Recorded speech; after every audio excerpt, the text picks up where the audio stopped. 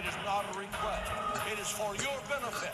Paul says, endure hardness, and that those demon powers will attack your mind, and attack your body, and attack your marriage, and attack your finances, and attack your children, and attack your relationships, and attack your church. You can only have one chance of survival.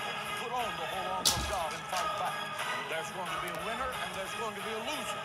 And for the winner goes the prize of our children.